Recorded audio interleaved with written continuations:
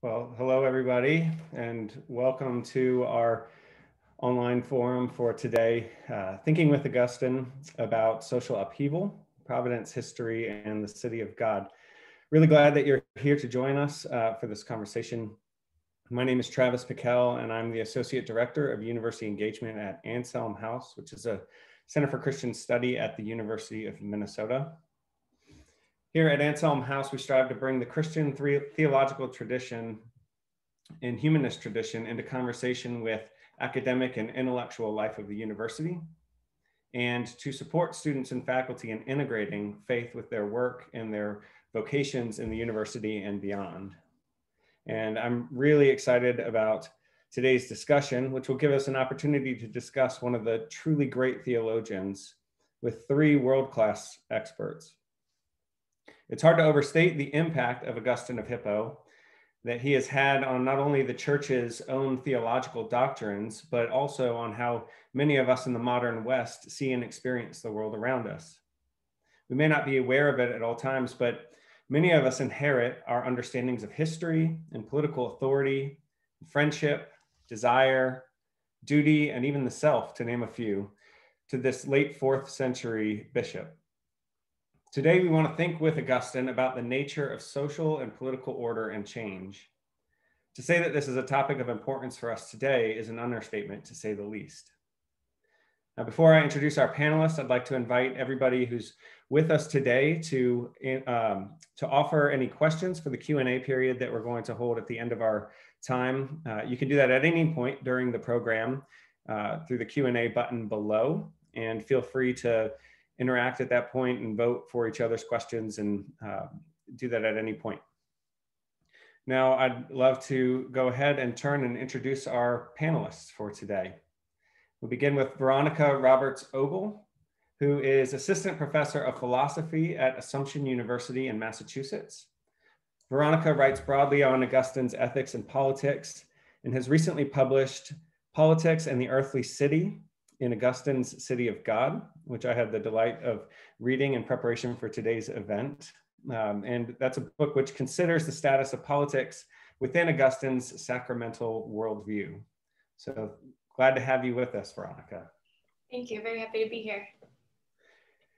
Chuck Mathewes is the Carolyn M. Barbour Professor of Religious Studies at the University of Virginia and a senior fellow at UVA's Miller Center of Public Affairs his books include Evil and the Augustinian Tradition, A Theology of Public Life, and The Republic of Grace Augustinian Thoughts in Dark Times.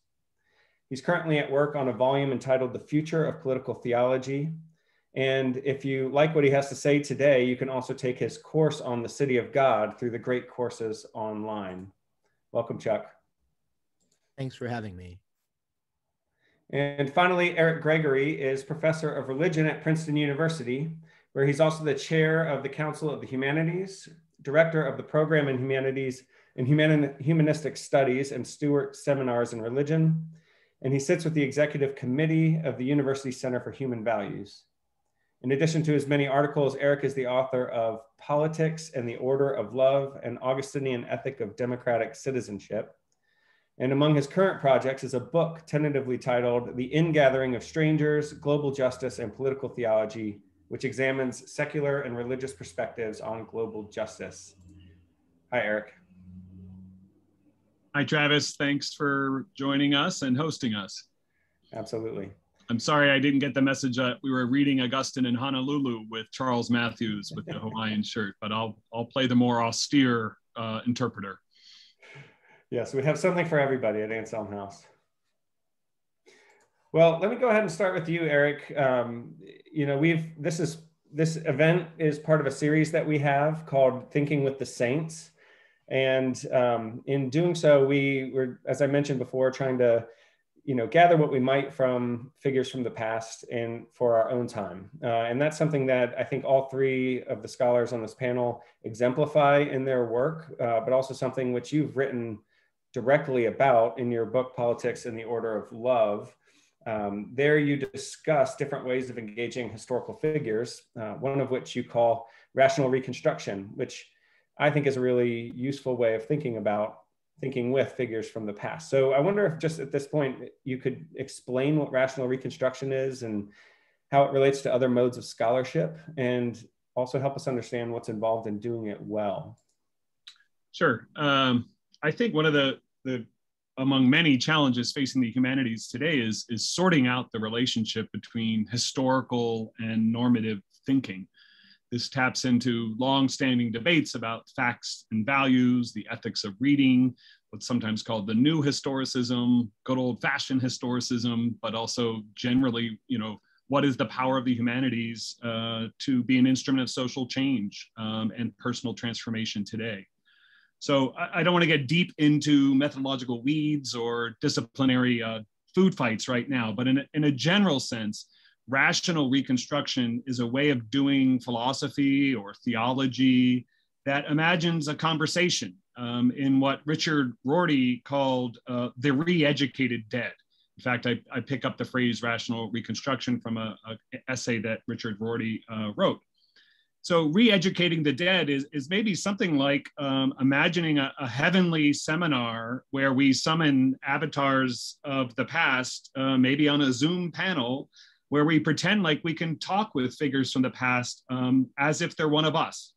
Um, Augustine didn't have the same view of progress that uh, Richard Rorty did, but I think Augustine actually forged this path by, by translating a lot of ancient philosophy um, into a theological idiom um, and in a dialogical way with a number of important figures. Now, albeit he often did so polemically, he sometimes did so charitably, but uh, rational reconstruction is this kind of sense that we can have a conversation um, with the past. And many people have done this today, secularizing Augustine, channeling his views maybe in the aftermath of 9 11 or during the Cold War, or um, finding in this pre-modern figure a guide to post-modernity and how to think about the inner life and the nature of love. Um, so thinking of Augustine as um, what you know philosophers might call an epistemic peer. Um, a, a, famous French historian once likened Augustine to a hot jazz trumpeter that was improvising all the time. He's not systematic, he's not a classical musician, um, but he was always kind of in conversation. So Rorty contrasted rational reconstruction with historical reconstruction. And that focuses more on situating a thinker deeply in their own context, often emphasizing how distant they are from us, how their vocabulary is different, their concerns are different, focusing on, say, the way in which Augustine is a particular kind of Platonist or a particular kind of African, a particular kind of Roman, uh, a particular kind of reader of Paul or reader of the Psalms or the Hebrew prophets.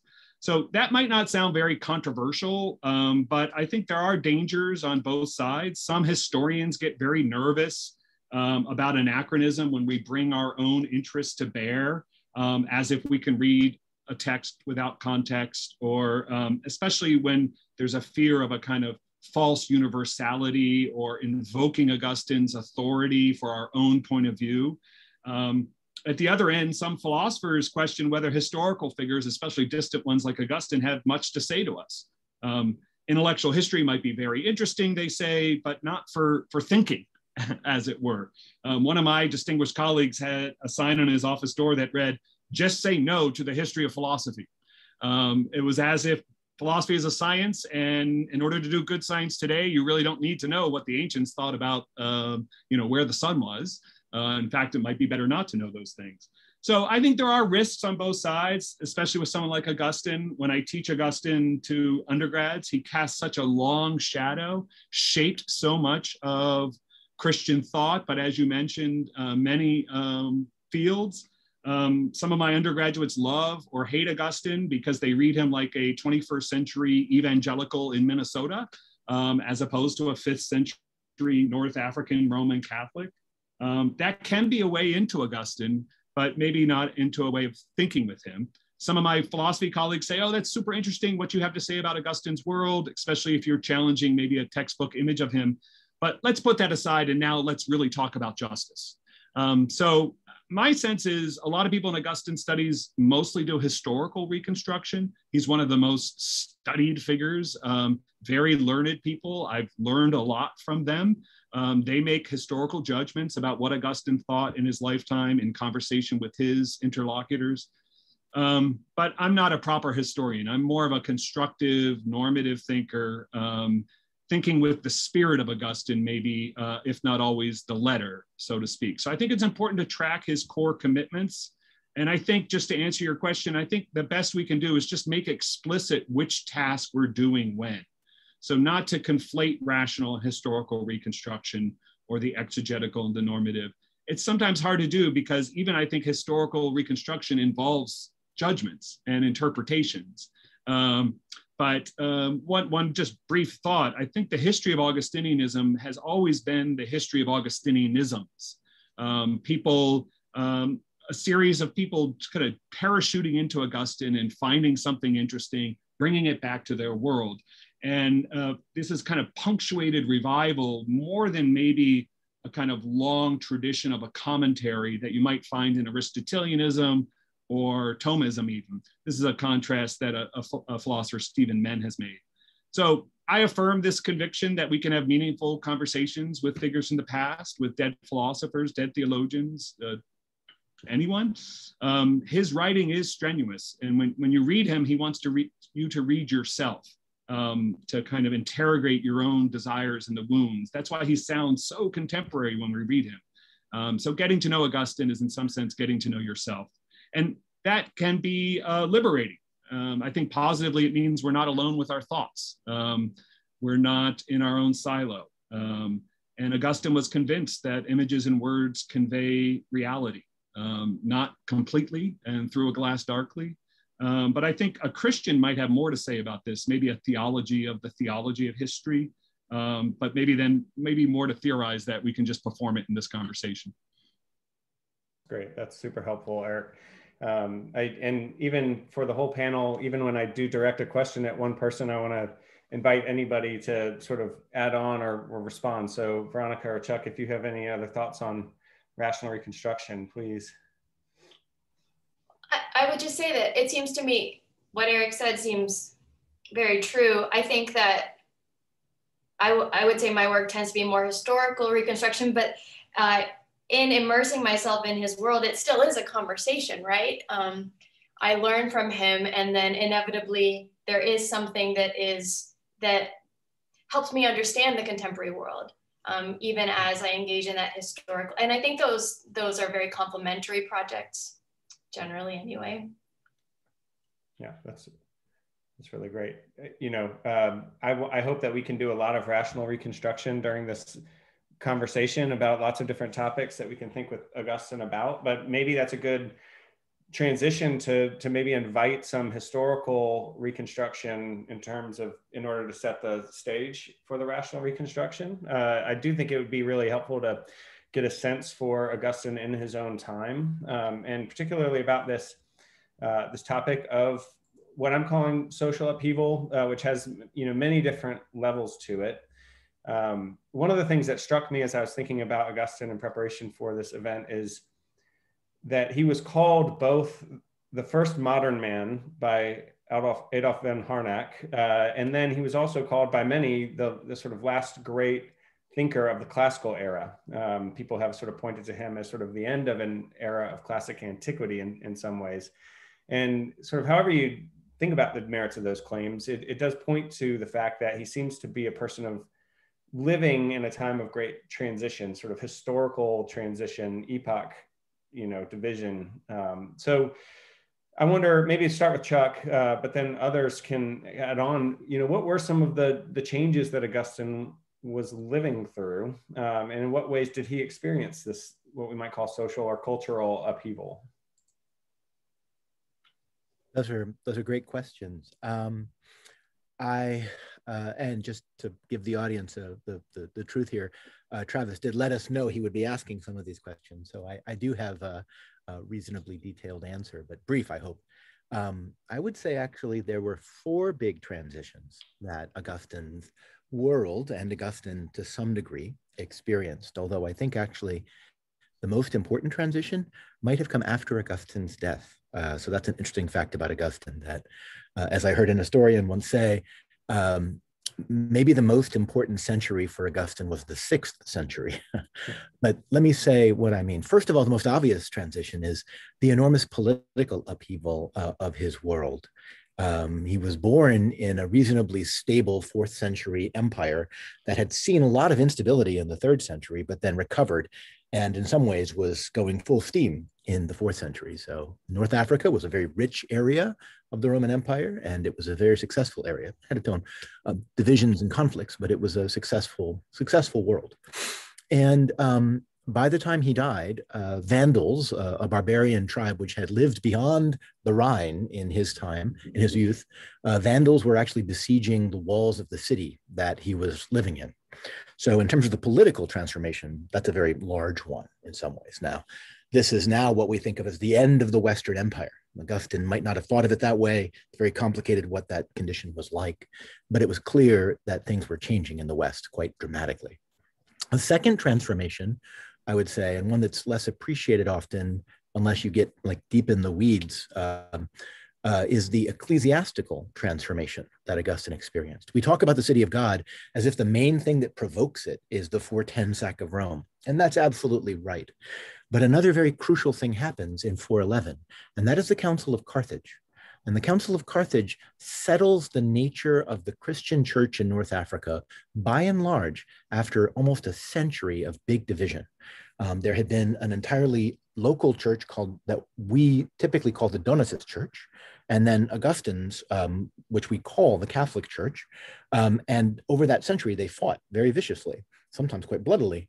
Um, in 411, finally, imperial authorities um, were cornered into stepping in, and Augustine's side won. So Augustine, after 411, was um, also working on trying to reconstruct and bring back together um, the community of Christians in North Africa. And I think that's a very important uh, dimension of uh, what's going on in Augustine's world that we often miss. Another one is that, um, and this is one that Augustine I think was actually in, on the losing side. Um, the shape of what it meant to be a bishop and what a bishop's thought was in the fourth century was very much changing. Um, it seems to me that, in fact, the presentation that Augustine offered of himself in the Confessions, but then in many other places, uh, of a far too human character, uh, was quite quite countercultural in terms of both traditional pictures of authority and also um, pictures of the emerging ecclesiastical authority of Augustine's day.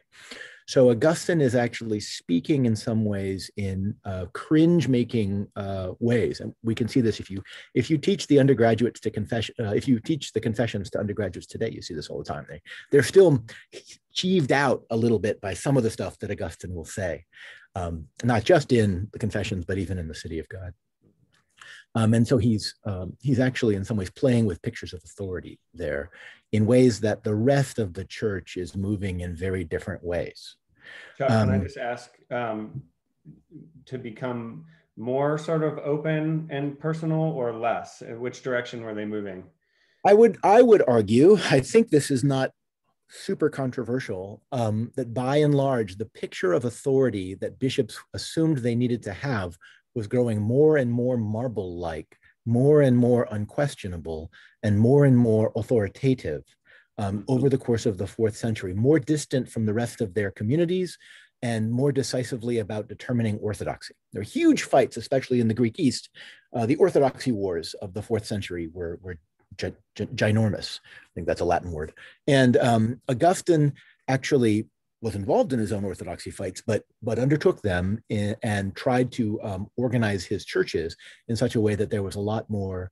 Um, it seems to me, anyway, a lot more give. If you compare Augustine to someone like Athanasius, let me tell you, you'd rather be in a faculty meeting with Augustine than Athanasius. Okay, I'll just or you know to buy a used car from Augustine rather than Athanasius. Athanasius would find monks to beat you up. Um, so that's the second one, this kind of larger change in the church. A third one, which is emerging and actually touches on Augustine in the Pelagian controversy, is the emergence of a very, very powerful monastic movement. Um, now, the monastic movement in Christianity is a response to, in, some ways, a response to the success of Christianity in the Constantinian Empire. Um, what's going to happen to showing who the real Christians are, right? Before we had martyrs, we knew who were the real Christians because they were going to suffer and die.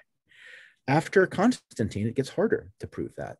Um, and the monastic movement is one of the ways in which there's still attempts to be a reification of a divide between the true Christians and the false Christians.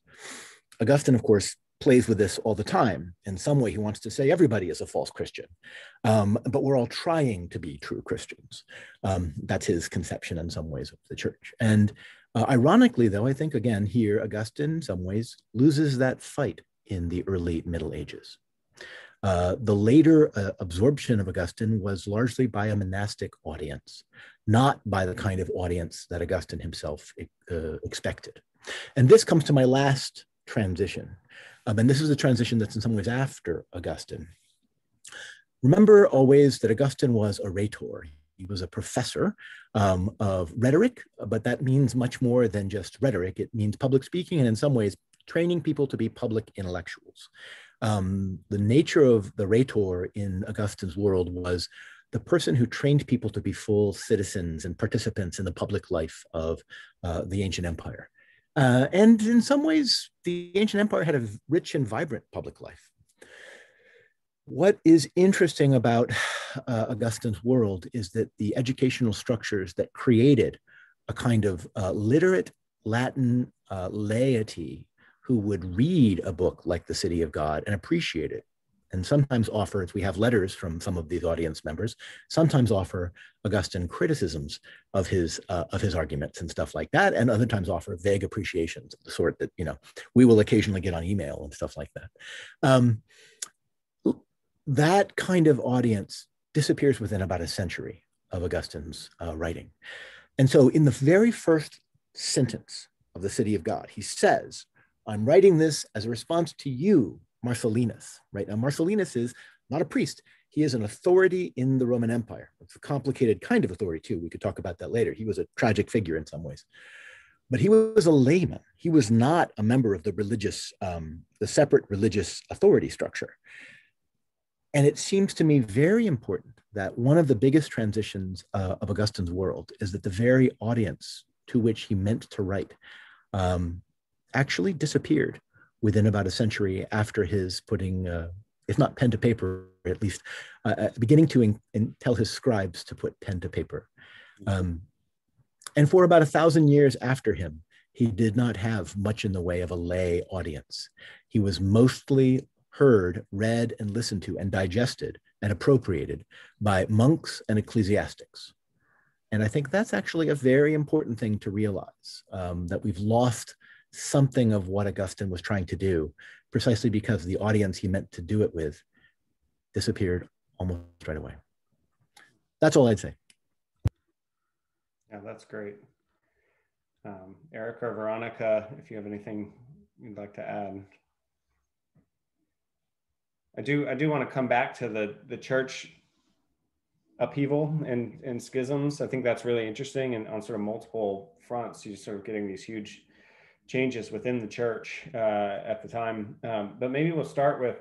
Could, could I just add one one thing here, Travis? Yes, please. Because I think um, Peter Brown, um, you know, a very prominent historical scholar of Augustine, um, also emphasized that one of the things Augustine does in his day, and this I think has to do with some social upheavals.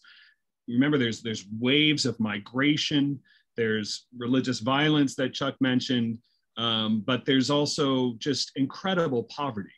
Um, and one of the things Augustine does, Peter Brown argues, is invent the very notion of the poor.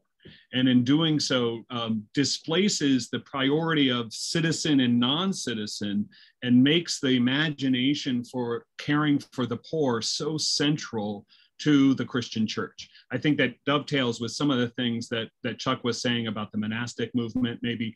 But I, I just think that it, it's important to remember, you know, this is a, a world that smells often of death. I mean, there's there's no refrigeration. Infant mortality rates are incredible, um, and I think Augustine, the the pastor, is uh, this focus on poverty is, is, very important. I know we're going to come to some contemporary issues, but but also as as Chuck mentioned, he was a culture warrior.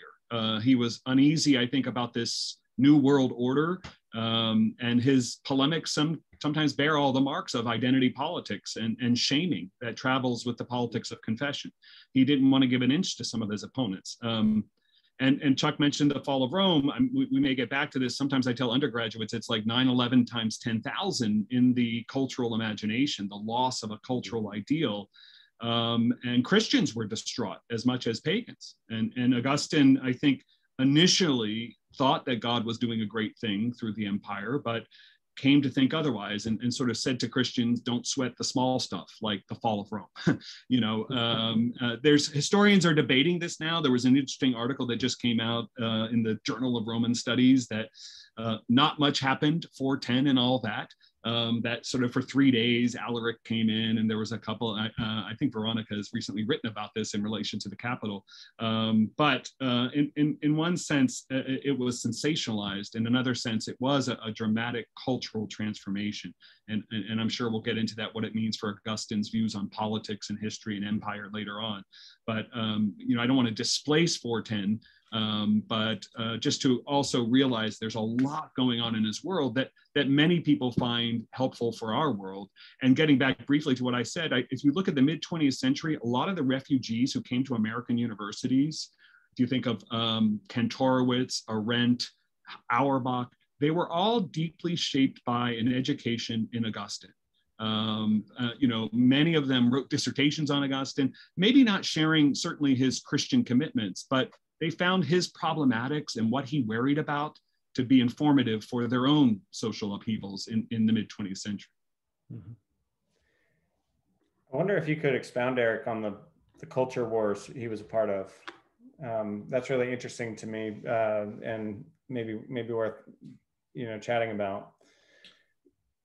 Well, I, I think there were many. You know, Chuck pointed to the internal culture wars. Remember, I think sometimes for a long time we just thought of Augustine's church as the majority religion, uh, when in fact the Donatists were the majority religion in in his time. Um, that was soon to to change. Um, and that there's, I think it's important to always uh, kind of keep the Donatist controversy in mind in, in reading Augustine's text though the city of God is, is often presented as Augustine's response to the culture war with the pagans. Um, the pagans said, um, You Christians were worshiping the wrong God or, or, or um, the wrong gods, namely one God that you're too uptight about and that is meek and mild and doesn't support the civil religion of Rome. And you failed to keep up uh, the empire. Um, but Augustine, you know, turns turns the story around and says, No, you made the empire your religion. Let's look at your empire. And it's full of injustice, it's full of violence. And, you know, he, he invites them in book three to um, let the crimes be seen naked. And this is why Augustine is sometimes seen as like the first ideology critique, um, the first unmasking of the history tellers of Rome. Now, Roman historians had for a long time done similar things, but I, I think that kind of that's what I meant by the, the culture war, the way in which Augustine is kind of trying to narrate the great temptation of politics being idolatry, um, thinking you can transcend politics and identify it directly with God's purposes. Um, but I don't think he thought Rome was evil all the way down.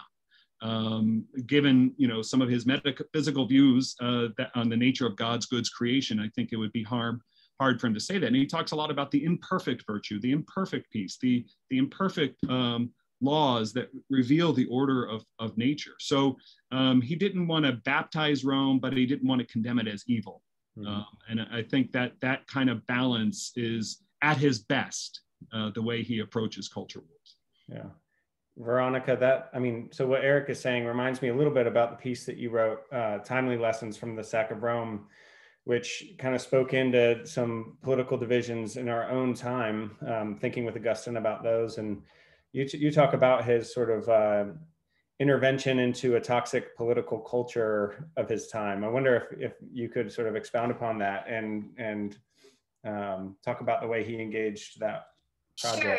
Yeah. So a friend had sent me an email asking, what did I think about the parallels? I think um, my friend noticed that a person was dressed like a barbarian and so thought that perhaps it was like this, the Sack of Rome. And so um, that's kind of what led to writing this in the first place. And I was really more interested in drawing out the, rather than the like analyzing the immediate um, what happened at the Capitol, rather the cultural context, and that's where we see the similarity with what Augustine is dealing with in the City of God, really, and um, and what we see today. So, yeah, what I found interesting in terms of a parallel was um, yeah, so uh, Eric was mentioning there was this kind of antipathy. One of the, the famous phrases was, it rains, blame the Christians. So there was this real kind of animosity um, going on, and, and, and that was the birth, in a certain sense, of the city of God, this idea of I'm going to defend Christianity and show that perhaps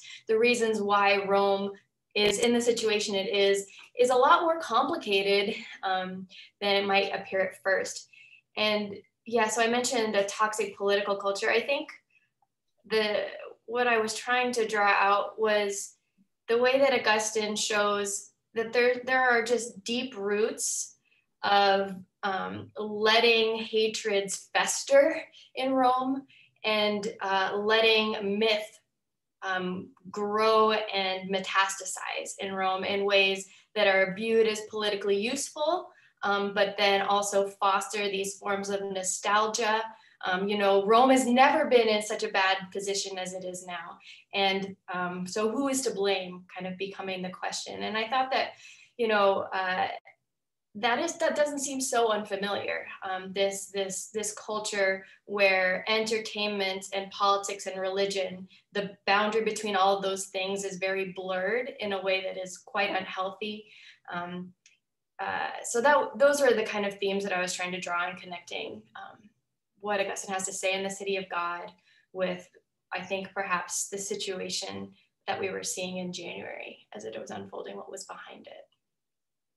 It's really great. Um, yeah, and for those of you who haven't read it, uh, maybe we could drop a, a, link at some point before the end of the, the program. It's a really nice piece. Um, so we've mentioned a couple times the the the sack of Rome, and it you know may or may not have been a, a very important historical event, but maybe culturally in the time, in the cultural imaginary, it, it certainly was a uh, loomed large, um, and it loomed large for Augustine, um, and some of you have written about that, and it kind of gives us the starting point for this this conversation on what I've called providence and history in the city of God, sort of thinking about the way in which Augustine was a theological interpreter of reality and of his times, and thinking about the way in which that event changed his understanding of, of both providence and history um, and our and our knowledge of them. Um, so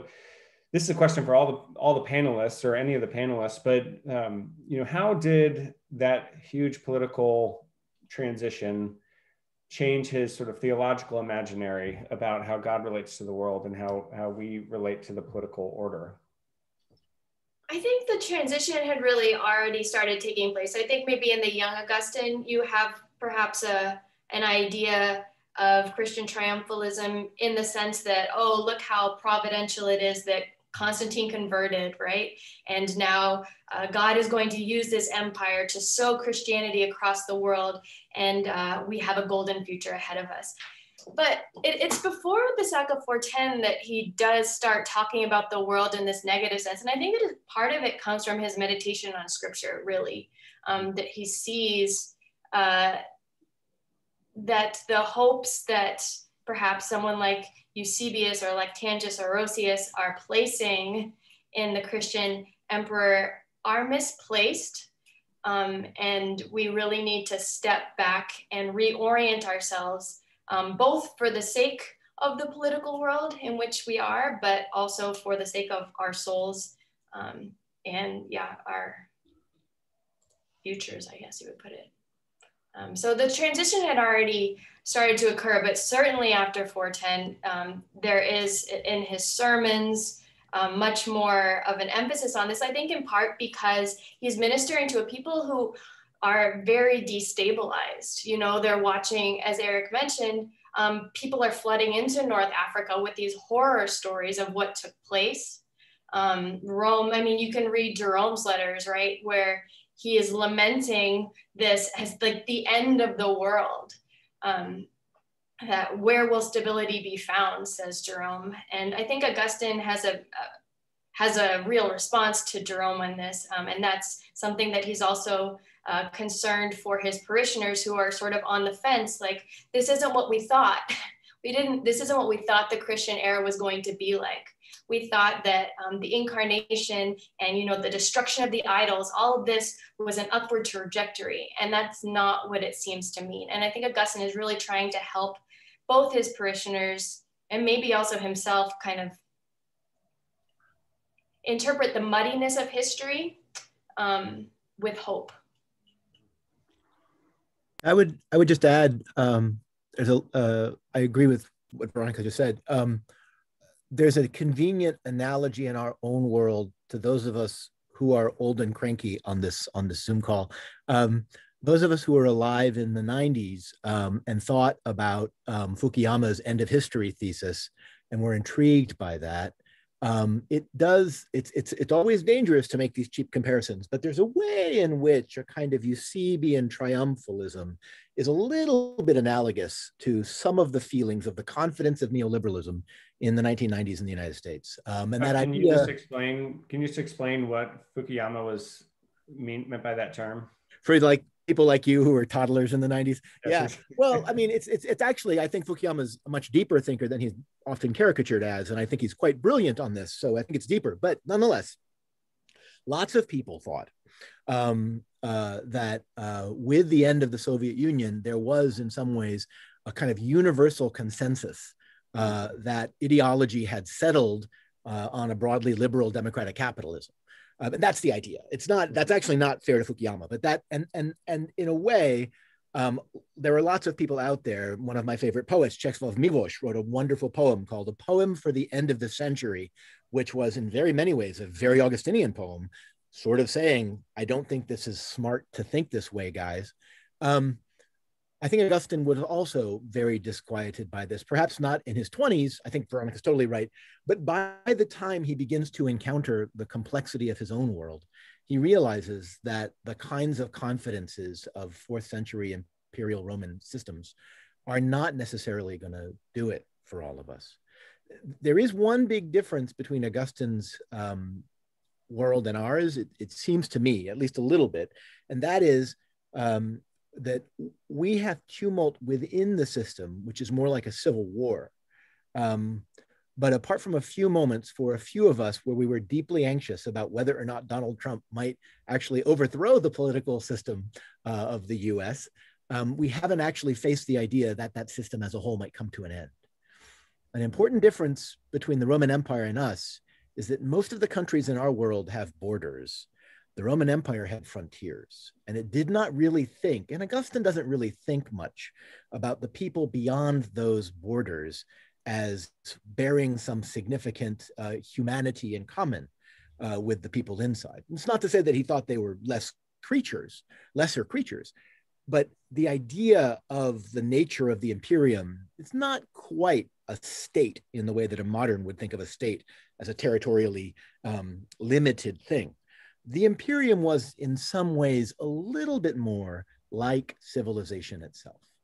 Um, and so for Augustine, um, the challenge of thinking beyond the empire was in some ways more existentially wrenching um, than, say, someone thinking beyond the limits of their own political political state today. In some ways, I would say. So let me ask a, a follow up question um, about about the empire uh, and about sort of the, the notion of um, i guess veronica you just mentioned hope. So you know in some sense you know maybe there's a shift in augustine's time or in his thinking of placing hope you know in the empire versus apart from the empire. Maybe we'd say something like that. Um, there's a there's a quotation that i want to read just to, to tee us up. Uh, in in the city of God, he says, As for this mortal life, which ends in a few days' course, what does it matter under whose rule a man lives, being so soon to die, provided that the rules do not force him to impious and wicked acts? seems to me that you know maybe if you take this quote on the face of it that augustine becomes something of a uh, maybe a quietist or or some um, you know a separatist thinker who, who isn't really interested in what forms of government we live under um, but he was a bishop and he was counseling people who were in authority throughout his career. I wonder if that's a fair description of him. So, how did he think about political order and how to engage it as Christians in a time of upheaval? Mm-hmm. Um, okay, uh, so it seems like, well, I would first of all say that yes, this idea of Augustine as a rhetorician is a really important place to start because to take this out of context uh, can be misleading. Um, he's making a particular point in this place. You can pull out other quotes from Augustine elsewhere where he says there's nothing better for civilization or nothing more fortunate for human affairs than by the mercy of God, good leaders should rule far and wide and long, serving God with true rights and good morals, right? So uh, that's a very different picture, right? This idea that it, I hope for and I wish for a good leader for any community. Um, he also says that it's better to have leaders with imperfect virtue than no virtue at all. He says that we should celebrate when um, a just the just side in a war wins. And he says that peace is good, justice is good, all these things are gifts from God, right? Um, breaking news from Chuck. Um, anyways, so it's not that he's disinterested, it's that he wants to pull us from a myopic focus on the here and now. Uh, he thinks that the, my, the myopia of our focus actually makes life worse here and now. It, it causes us to engage badly with the here and now because we lack the context. Um, and then also, as I mentioned, the hope that we could draw on to engage well in service um, in our world that is broken. Uh, so yes, he's not an institutional thinker. He's not primarily interested in what forms of government um, are the best.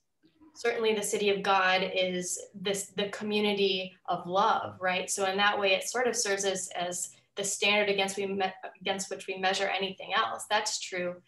Um, but he primarily thinks about uh, communities and how can we engage in those communities in a way that is uh, healing and that's the way to, to be a pilgrim who seeks to serve. Um, so it's not that he he is so disinterested in politics. That is one rhetorical turn of phrase that he's using for a particular purpose. Um, I don't know if that answers your question or not. Travis, could I, I could jump or Chuck? Were you gonna? Just go ahead, Eric. I'll go after you. Well, I was gonna just. We, we all have a lot to share. Well, I was going to come back to actually. Um, there's there's a revealing sermon that I think the first sermon Augustine preached after the sack of Rome, which I've taught with undergrads. Uh, I'm not a preacher. Um, it has perhaps you know it shows I think Augustine's sensibilities in that moment. It it has a little bit of Pat Robertson in it. That suffering is for your own good. This is a part of your own training and virtue. The providence of God is chastening us. Uh, maybe like Job's friends. Um, so there's a moment where, where Augustine is always, I think, balancing pastorally between those who need hope, because, uh, you know, as Howard Thurman, you know, for those with their backs against the wall, and those who might need a little bit of despair because they're so prideful about their possibilities and what they're able to do. And I think that that sermon may not be Augustine at his best, but I, I think it does kind of play into some of the reception that um, the world will break your heart Politics is not going to save us. The world is too vulnerable. Um, happiness is only a promise in this world. Uh, it's we live on hell on earth, as he says in the city of God. So maybe we should be indifferent to politics, to economics. Um, we're exiles in a penal colony. Um, and, and I think particularly the evangelical tradition has often picked this up in some ways that we mourn, we pray, we wait, God is sort of working um, working on history, not us. Okay, um, and so there's a kind of ambivalence. Um, there's a there's a soberness. At the same time, other Augustinians have gone the other way. That look, life is tragic, so we must take responsibility for history, and we must um, um, maybe not think our Christian convictions can could guide us, but we kind of lamentedly live in a world where we need to do evil to achieve good or, or what have you um, and we can despair it um, and ask for forgiveness. Um, so Augustine's writings, I think, do take us into hell, but I think they always do so in order to get us out, kind of, kind of like Lincoln or Milton or, or others. Um, I think a lot of the lessons of, of Augustinian realism we, we learned too well. And I think uh, for our generation, a lot of it is, is thinking about the possibilities of politics in an Augustinian vein um, without denying the kind of concerns Augustine had about too much enthusiasm for, for our power to bring in the kingdom of God. Um, I, I, think um, one of the great questions for Christians today is what's the relationship between um, our earthly happiness and the ultimate form of happiness we will have with God in eternity. And um, there's concerns about the Augustinian traditions kind of draining history of any real relation to God because it's just one thing after another. Um, so we have to think about well, what is divine providence? What is our relationship to it? Is there any way to think about the civil rights movement as a part of um, church history, of getting right with God?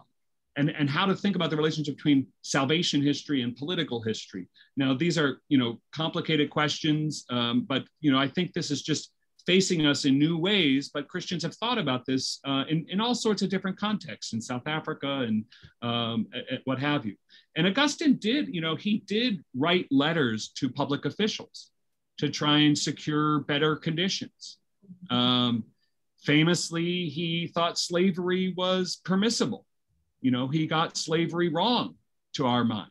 Um, he thought the slave trade was wicked, and maybe we have to think about, well, in his own context and the kinds of debates we're having today all over the place.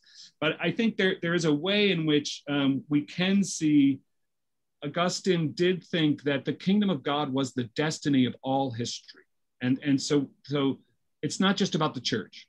And there's analogies between divine and human action, between what he called the res publica, the public thing, and what God was doing in history. It may not be legible to us completely, but, but I think the kind of separation and the kind of inward quietism that you mentioned um, at the end of the day um, doesn't match Augustine's practice or his theology.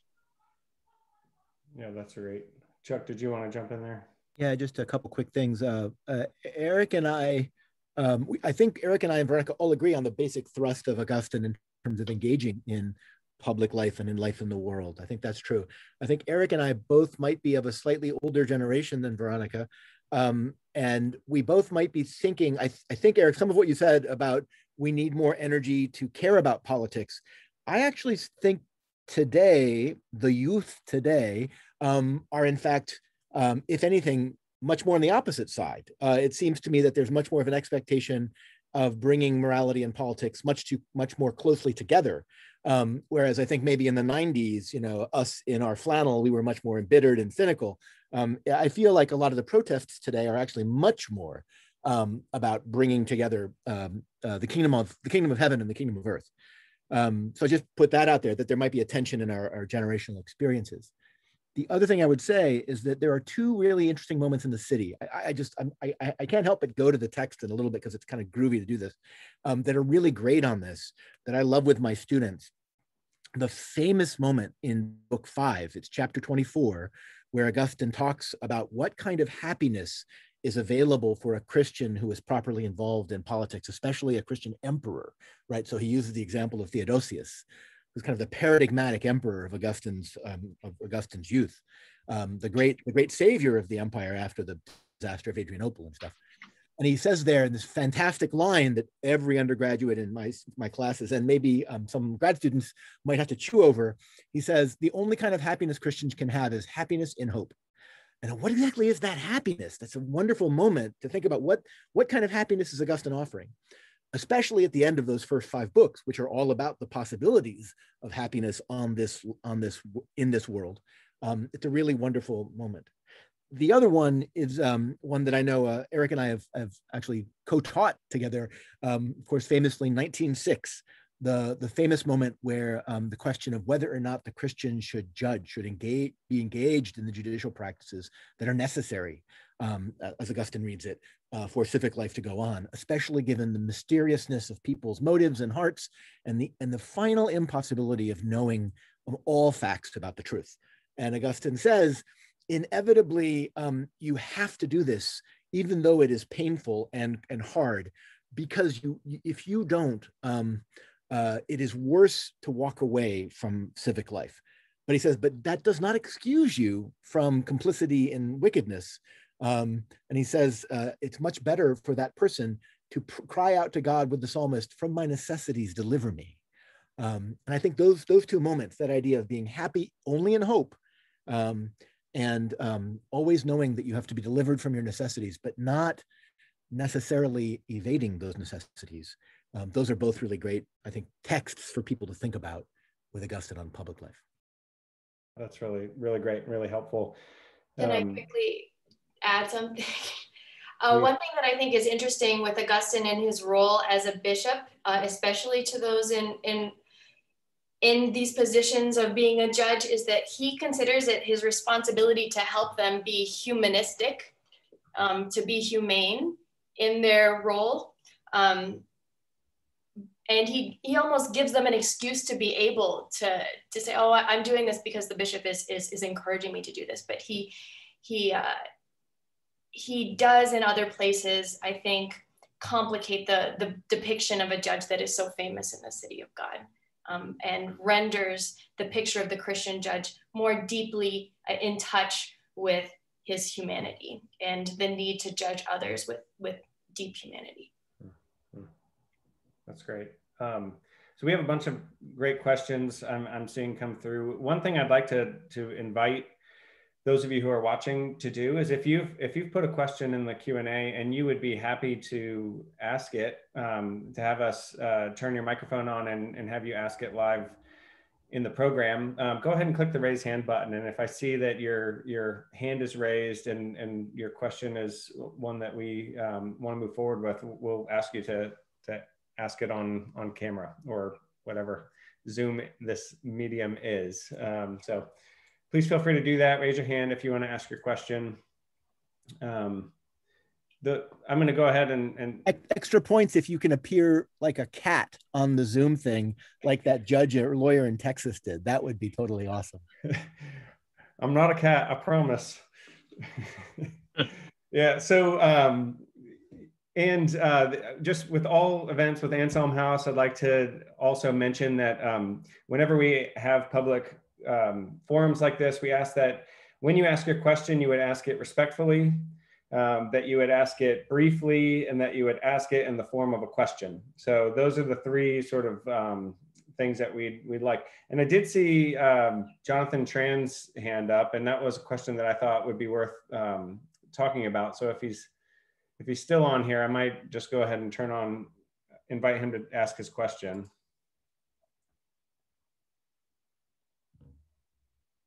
Am I on? You're on.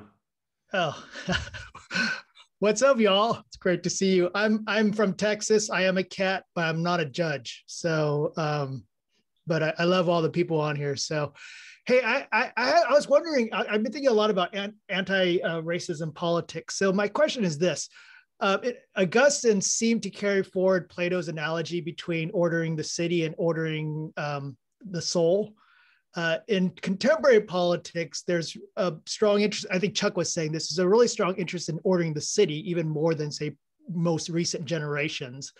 Um, but there's a seeming disconnect between that and ordering the soul and whether or how one should even do that. So, my first question is Is that a correct formulation per Augustine? And second, um, does Augustine thinks there's a viable politics in that disconnect? Um, and it's it's really a question of like if that connect is true, how do we formulate something like anti-racist politics? Um, so I don't know if that question makes sense, but I appreciate y'all's time. I, I think it makes a little sense. Um, uh, I mean, I mean that in a good way, Jonathan. Don't worry.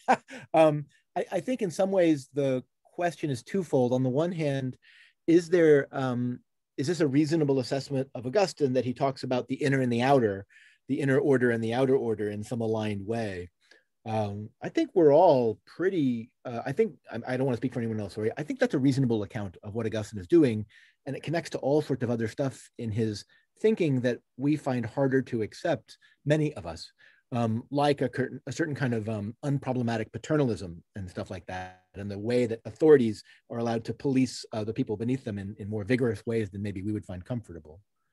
Um, I would say also, though, that the um, the other flip side of that is the way, and I think I learned this a little bit from, from Eric's stuff, uh, that by Augustine putting politics kind of back in its place as not necessarily um, the exhaustive locus of soul formation, um, Augustine has deflated uh, the expectations of what we can find in politics to some degree in a way that anticipates some of the ways that later we would call liberal thinkers. This is not to say Augustine is a liberal, right?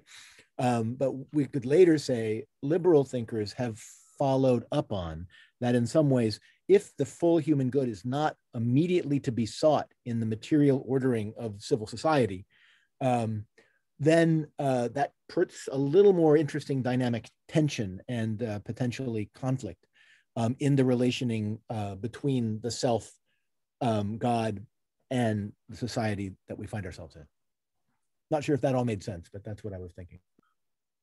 I, I mean, uh, can I jump in real quick on this? I, I think um, one, another kind of cartoonish uh, contrast, getting back to the crossroads where Augustine stands, is that ancient politics was about promoting virtue, and modern politics is about uh, expanding liberty.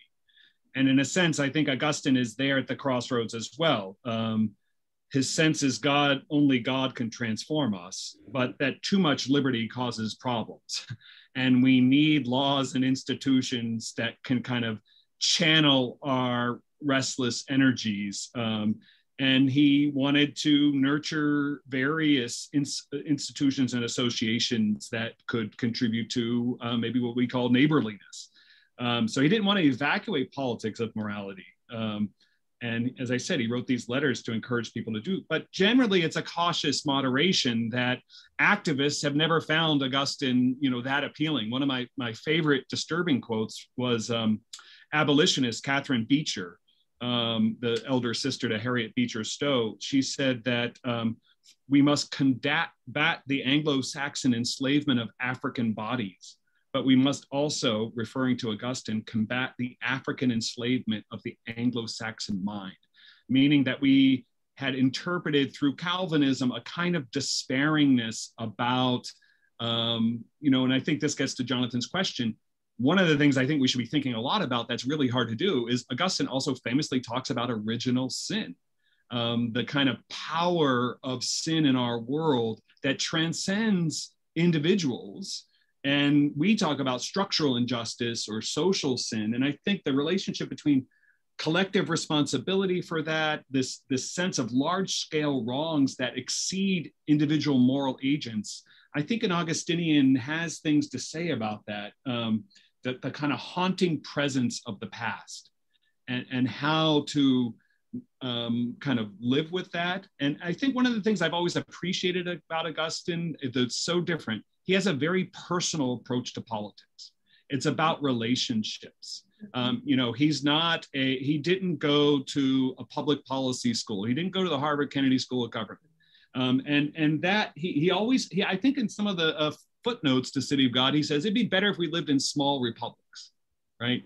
Um, that personal dimension has limits um, and and sometimes it, it, it it you know in a different age maybe he could imagine other initiatives. But i think in some ways what some people are doing with like organizing on local communities and anti-racist initiatives kind of gets to some aspect of this augustinian personalism even as at the same time we might be doing both at a kind of bigger policy institutional level. I mean i think the whole question of augustine and race is something that augustine scholars haven't done much with uh, I've been tempted to write an article on how Augustine became white. Like, um, and, and this gets into bigger conversations about theology today. Um, but it's interesting this kind of what what Augustine thought. At, was he a cosmopolitan intellectual who thought what mattered was grace, not race, to borrow from a controversial formulation of N.T. Wright? Or did he think that God saves peoples, not individuals? And he certainly thought about that about the nation of Israel. Um, and so, how do we think about race in Augustine's time? I mean, he's a Berber. He complains about people making fun of him because of his accent when he goes to Italy. So he experienced, I mean, the kind of the role of ethnicity, let's call it, and race making. I don't think Augustine scholars have done as much with uh, as they could. Obviously, in biblical studies and I think in medieval studies, there's been a turn to that. But maybe I know there's a book coming out by a very distinguished Augustine scholar, Augustine the African, that will get at some of this. Um, but I, I, think in terms of like, maybe Chuck and I disagree about the current generation, but at least my students, they're not idealistic. Um, they kind of maybe they don't imagine the end of history. They're kind of more, we can reduce suffering, um, but they're worried what's going to happen today in Minnesota. so we might call it Augustine in conversation with Afro pessimism, without with a sense of um, you know America being stained um, and and not able to um, raise to its better nature, what have you. So I think all of these things, different Augustinian moments, uh, you know, is Martin Luther King Jr. the great Augustinian of America um, because he tried to historicize, not just psychologize injustice. Um, and this vision of a beloved community, I think it has deep Augustinian resonance uh, for him. So, but it's but he also thought um, changing the law was important, not just being nice and merciful. So, Eric, I would just add that um, we we might disagree here. I, I think that people, the kids today, the, the, the youth today, um, they they may not be idealistic in the sense of being optimistic, but the expectation um, that morality ought to be the standard form of politics um, strikes me as uh, powerfully mobilizing and powerfully energizing, uh, but also possibly down the road a little bit, um, potentially constructing for them uh, a little ambush that they might find difficult. So I've I've I've found recent the the wonderful little piece by the woman who wrote. Um, uh, I was the author of uh, Your Fave is Problematic is a, is a really nice piece. That there's a number of people who are now thinking maybe the earlier kind of energy to um, you know identify everything that is wrong with everybody else um, is maybe not as healthy as we as we thought. And um, you know the line in Augustine that I always love in moments like that is that uh, I think it's in it's in the city that um, in this life justice is more about the forgiveness of sins than the realization of virtues. Um, he doesn't deny. I think Augustine mitigates blame, but still holds people accountable. Absolutely. the question so is confession, lament, repair. Yeah, and how do you relate those things? That I think is the diff- he's not a juridical, I think, thinker um, and that's the question. He's a he's a he's a thinker about redemption, uh, but I think also he's he's very nervous uh, about our temptations towards um, you know opposing the other and destroying them in some way. Yes, yeah, he certainly is really con- uh, he's concerned about that. I think one place that's very striking is his use of uh, the image of the woman caught in adultery uh, as a reminder and, and, and the way that people judged her as a reminder that all of us after Christ are in a position of being forgiven. And that is the basis for interacting with others. I mean, so I, I do I do think that Augustine, especially in the first book of the City of God, is really good on pointing out how a culture that wants to be moral can very quickly fall into pride and judgmentalism of others. Um, he, I mean, obviously his treatment of the rape victims in, in the sack of Rome, uh, that's where that comes out really strongly. Uh, this, this need to not have any kind of culture that wants to be moral is going to end up being harsh if this is rooted in pride rather than love. And that's always the temptation for the human condition. When we want to make things better, um, we, we separate the pure from the impure. And humility has to start from a recognition that we have received something gratuitously, love gratuitously. And that I think recalling each one of us to that for him is the starting point of the possibility of engaging in anything like real cultural renewal. Because any cultural renewal that is simply, um, I mean, speaking speaking to Rome and the sack, like um, who's to blame? Uh, he's constantly calling us back to ourselves. Um, and yes to our sin but also to the fact that we've been loved and forgiven um, and that's very important for an augustinian vision i think can i just say one more quick thing about that about just playing up on something rebecca sorry that uh, veronica just said um, uh, about um, the bringing us back to ourselves uh, and this connects also to the earlier thing about rhetoric. Um, the very, I mean, I, I, I, people, you guys might know this. I play this up a lot. Um, look, the use of the word city in the title and the very first word of the of the book, gloriosissimum, this this idea of most glorious. These are both kind of classically pagan Roman words. And what's amazing about Augustine is that he's not asking you to throw out your entire received vocabulary and install a new one. This is not like, you know, replacing Windows with some other, uh, some other operating system. He wants to say that the language we have, that we have inherited, is flawed, is bent, is distorted, but it still is potentially redeemable. The language and the flesh we have are the things that are going to be redeemed by God. That will be painful and hard for us, but that's the way that God has chosen, right? God is not replacing this world with a new one, right? And so, in that way, for Augustine, it's very important the rhetorical shape of the city, the way so much of it is about the transformation of language. Um, and so much of it is etymological. Like, that's really central to what Augustine is actually trying to do. The etymology, the axiology, and the theology all go together for him. Um, I would just put that out there. I agree. So we're we're getting we're getting up on time, and I do want to get a couple more questions in. Um, one that's maybe related to what we talked about, but shifts the terrain a little bit is about political wisdom um, and providence, and and uh, the, you know the, the question is basically is there a way in which political wisdom might sort of depend upon being able to see what God's doing in history, and I think it is relevant to some of the ways in which people are thinking about um, political wisdom today. Oftentimes you hear about being on the right side of history or wrong side of history, or being able to see where God is on the move, or you know some of this sort of language. I wonder, you know, what Augustine might make of that, the mature Augustine, or how we might think with Augustine about, you know, seeing seeing or being able to point to God's action in history as we try to engage politics well.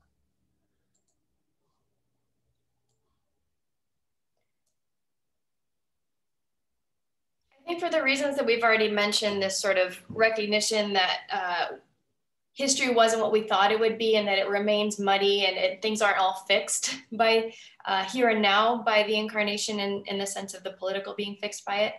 Um, I think that's really important. I also am very struck by uh, the way in which he emphasizes that scripture only tells us what we need in order to um, get to heaven in a certain sense, which sounds very otherworldly and like, well, that's not very helpful. But it's actually an important restraint because I do think it's constantly a temptation to say that we know what God is up to in history.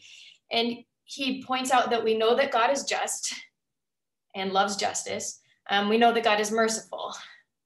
Um, but there's a restraint to his argument that I think is fitting and important because it's also related to our own humility um, or our need to grow in humility.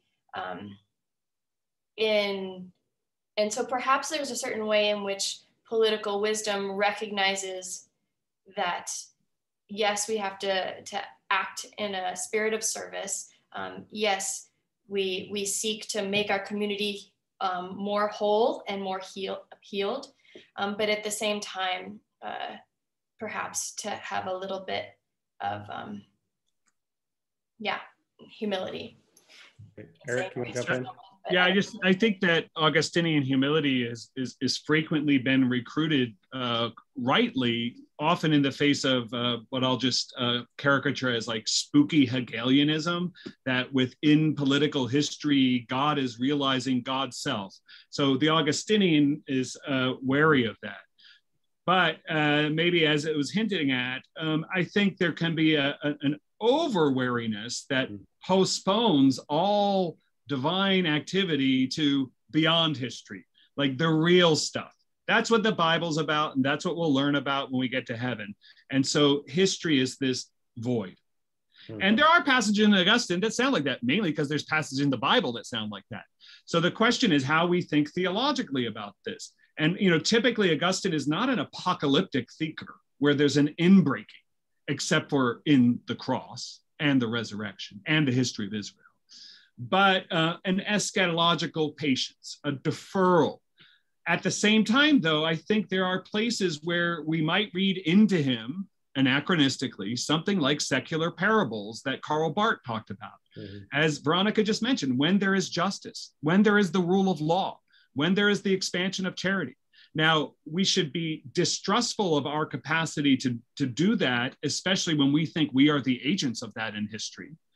We maybe can learn more from um, others uh, who might be able to identify those things, intimations, hints, uh, places where you know we're not necessarily God is on our side, but God is on this side, and we want to work together.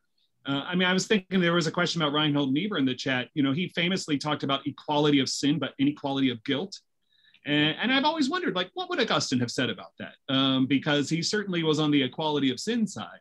Um, but that inequality of guilt is a, is a kind of route into making political judgments.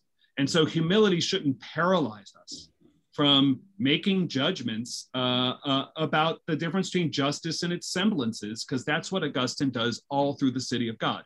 He's not interpreting the New York Times every day to decide where God is or where the Holy Spirit is, but the general thrust certainly is divine activity is happening all around us.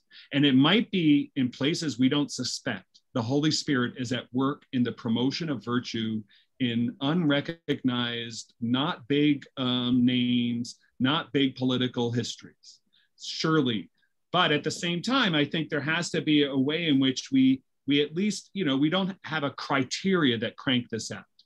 Um, but we, I think, theologically demand for, from Augustine's account of history, uh, which again he unfolds through a kind of biblical narrative.